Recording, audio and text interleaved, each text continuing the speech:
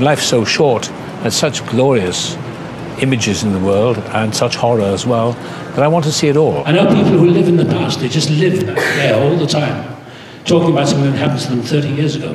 They're like zombies. Be bold and mighty forces will come to your aid. And I believe that about everything. We have to make our lives because life is tough. We have to believe in the power of life. He's a Welsh actor on film, stage, and television. He's considered to be one of the world's greatest living actors and is most well known for his role as Hannibal Lecter in The Silence of the Lambs. Everything you need to find him is right there in those pages. Since 2016, he starred in the critically acclaimed HBO series Westworld. He's Anthony Hopkins, and here's my take on his top 10 rules to success. Rule number one is my personal favorite, and I'm super curious to figure out which one you guys like the best. Also, as you're watching the clips, if you hear something that really resonates with you, please leave it down in the comments below and put quotes around it so other people can be inspired. As well, when you write something down, it's much more likely to stick with you too. Enjoy.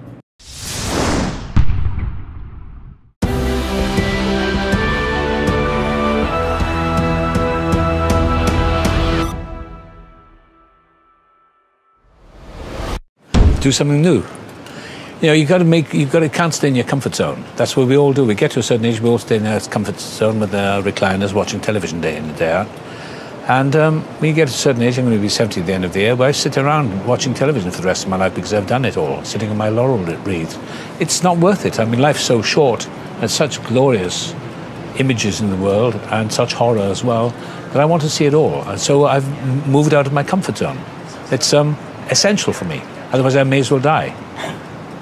So I've done it, I've broken every rule in the book, and um, not out of malice or any telling anyone that I'll show you. I did it for to show myself. I've shown myself. I looked in the mirror, I thought, I'll show you one day. And I've done something completely new. I wrote the music, and I feel limitless. Once I got started with uh, two magicians and one ventriloquist helped me. Uh, once I got the knack of it, it, it, became easier, and then I enjoyed it. Uh, there were moments, you know, when I was learning the script, and I thought, well, this isn't going to work. I mean, how, how, how can I do it? But I, I, I, used to write notes to myself, little letters to myself, and put them on the desk, saying, you know, you can do any, you know, anything uh, with faith. You can move mountains, and uh, um, trust, and let go, and all that sort of thing. You know, and I used to just throw myself into it. And then the, when the negatives came to my mind, I would uh, put positive. Um, positive sounds in my head, you know, make, I'd say I can do it, you know. And I, I used to meditate and uh, visualize myself doing it. And I used to visualize myself on like a kind of, um, try and visualize myself doing those sort of fanning cards and springing them. And, and gradually, surprising the power of mind, what happens, you know, your muscles begin to respond. It's like anything really, if you're playing the piano or driving a car. It comes through relaxation. Your approach to life, has it changed through your? Yes. Well, you just get older and you live long enough, you, you'll change. If you don't, you may as well die. you know, go or grow. You have to change. And I've realized over the years that I've gone through many changes in my life. Um, many changes because that's the nature of life. And if you don't go with it, you may as well die, really. You may as well be dead. I know people who live in the past, they just live there all the time, talking about something that happened to them 30 years ago. They're like zombies. And I can't hang out with those people. I know them, but I can't spend more than five minutes with them because I feel like suicide at the end of it because I feel so guilty about being happy when they're so miserable. because it's a, you know, life's in session. For many years, I thought life was a big rehearsal for the big event. And somebody in Los Angeles said, Tony, this is the big event. Life is in session. You know, we spend so much time thinking it's a rehearsal for the big event, the big red carpet in the sky. And it's not. All life is magical. It is magic, you see, because we're the instruments, and all problems are technical. Once you can go through those problems without avoiding them or backing off them, from them, because all, you know it's like fear. You go through it. You go through the problem, confront it, and go through it then you have release. Stanislavski called it the plane of inspiration that takes off from the runway. Know, the runway is the technique, the runway is the getting on with it, and the plane will take off. If on Tuesday night, however, it doesn't quite take off, it doesn't matter. You can't stop the plane and say, well, I'll go back because I don't feel it tonight. You get on with it technically, and then on Wednesday night, probably it's going to take off again, as long as you're relaxed. But it really is, it's kind of being on automatic pilot. And I, I, I think it's, and it comes after experience. I think it comes, uh, and I think I feel in the happy state of mind now that uh, my, I have 15 years or 20 years of experience behind me. And I think it's used well, and, and uh, there's a lot of positive out of all the ang- anguish and the pain and discomfort. And there have been good times, there have been negative times. But Olivier said once, uh, when I, he was directing Colin Blakely in Juno and the Paycock, and I was in Juno and the Paycock, and he said, uh, he said, you have to find the middle man. And Blakely said, what do you mean? He said, find the middleman, that ease of playing a character. And Blakely said, I only have until next week. And he said, you won't do it next week. It'll take you the next, the rest of your life. And it's really relaxing and letting go. You know, the booster that puts one into outer orbit, the aggression, the, the arrogance and the ambition and all that, that's all very necessary. But there's a time when one has to let go. And I guess I'm in orbit. And I, all I have to do is rest assured that it's going to be okay and do what is required of me, you know. Keep in practice, keep working. I'm going back to the theatre. I want to go back to the theatre. And I, I, I'm, I'm being kind to myself. I, um, that's all I can say, really. Then the magic happens. Scofield is right. You get on with it. John Dexter told me in New York, he said, just get on with it. Don't analyze. Do it. What's the most important quality that an actor, a great actor like you, should have? What's the most important quality, apart from intelligence, I suppose? But Well, I'm going to be modest. I, you know, I'm, I'm a working actor. I just go from job to job when I can. I think there is um, a a sense of discipline and uh, commitment to it, and all those American words. But Yeah, yeah. Uh, uh, know what you're doing and um, and have fun with it. I always tell that to young actors I'm working with. I Said, enjoy it. Stop figuring it all out. Just enjoy it. If it doesn't work, it doesn't work. And uh, you do something bad, it doesn't matter. And you do something which may be good, that's good. But don't worry about it. It's all it's all part of life's process.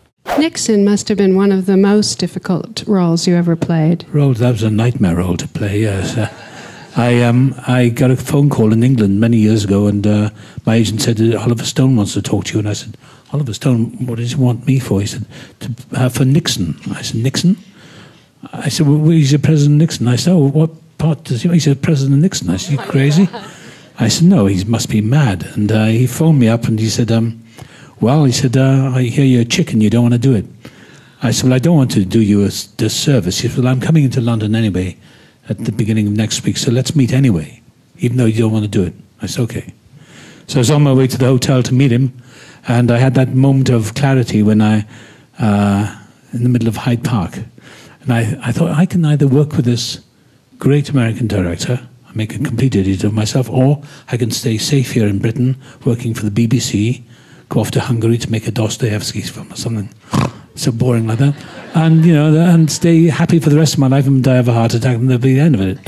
Uh, but I thought, well, I'll just do something that's really challenging. So I met Oliver Stone for breakfast that very morning, a few half an hour later, and I said, I'll do it. He said, great. So there we were. And I believe that be bold and mighty forces will come to your aid. And I believe that about everything, you know. So I don't do anything that's conventional. When I approached magic, I just showed up. I did a lot of preparation. All I have to do is be ready, I guess, and that I try to apply it through my life now. And I, I just have to get ready, you know. I just have to do what is asked of me and and do as much as I can without driving myself insane. Because there's a negative side of perfectionism in my nature, anyway. I can only speak for myself.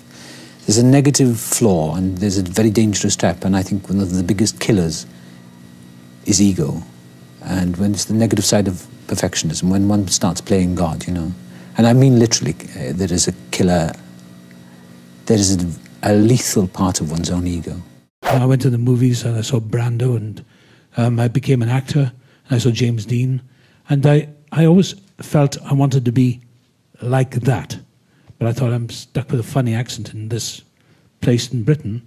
And then I'd read uh, Jack Kerouac's On the Road, and I'd read um, Look Homeward Angel. I was about 19, 20, something like that.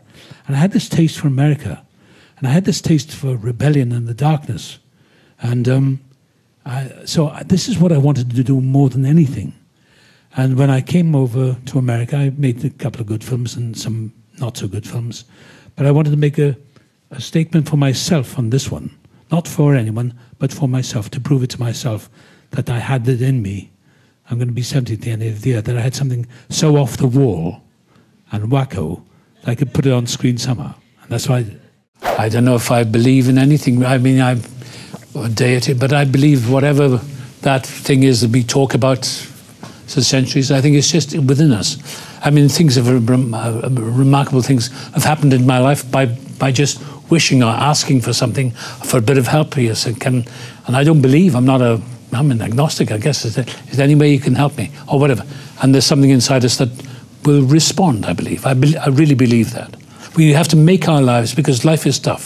We have to believe in the power of life. Now, okay, let's talk about this movie. You're you're a, a, a, priest, then then you're trying to convince this guy that doesn't really believe, and then all of a sudden you become possessed. That's right. By the devil. You you are a good uh, devil. You you are. you're. Uh, I mean that in the kindest way. Uh, yeah. I mean, really, Thank you play you, a bad guy so good. When you turn, because your character is not like that for the first part of the movie, and then He's all of a sudden, you're yeah, you're. So then he becomes nuts. And then suddenly you become very. Uh, yeah, very yeah. strange. I don't know why they cast me in these parts. I I have no idea. No.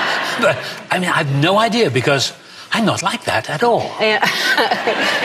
See, look, just doing that is scary to me. That's. I got a technique. I, I, didn't, I didn't know what it is. I, I honestly don't know. Seriously. People say, How do you do that? I have no idea. I just do it. Like do it like like right now. Just look at the camera and make a, a scary, scary face. Hello. That's really creepy.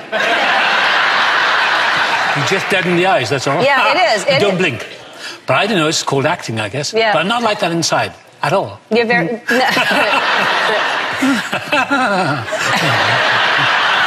Not at all. uh-huh. And life is just terrific. I travel the world and I'm still working and working with some interesting people. And people think it's, you know, a dream. But there are problems. You know, I I pay a few people to help me and um, my wife had, had a friend called uh, Juan Arias, and she called him Johnny on the spot. My wife Stella. Johnny on the spot means Johnny on the spot, except this guy is rarely on the spot. Sometimes I can't even find him. He's supposed to be my personal assistant. Can you believe that? I pay him lots of money. It's really shocking. But, um, well, that's life, I guess. Uh, anyway, be quiet because I'll introduce you. I'll show, show you the spot.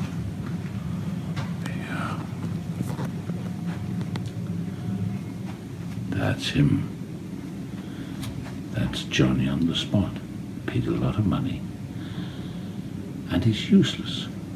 F***ing useless. My cat, Niblo, would be a better assistant. But what can you do? You can't win them all. Why- Life's not perfect, you know. I don't know how to get rid of him, but anyway. That's Jods. First class private travel, private hotel, rooms. All the women hug him on set. They don't even know who I am. But, I mean, that's life. It's not all roses in the movie business. That was good. Thank you guys so much for watching. I made this video because Kendrick Bowman asked me to. So if there's a famous entrepreneur that you want me to profile next, leave it down in the comments below and I'll see what I can do. I'd also love to know what did you learn from Anthony Hopkins today that you're gonna apply immediately to your life or your business? What was your favorite rule and why? Leave it in the comments. I'm gonna join in the discussion. Finally, I wanna give a quick shout out to The Lonely Buccaneer. Thank you so much for picking up a copy of my book, Your One Word, and taking that picture, posting to Instagram. Those cookies look delicious, and I really, really appreciate your support. So thank you guys again for watching. I believe in you. I hope you continue to believe in yourself and whatever your one word is. Much love. I'll see you soon.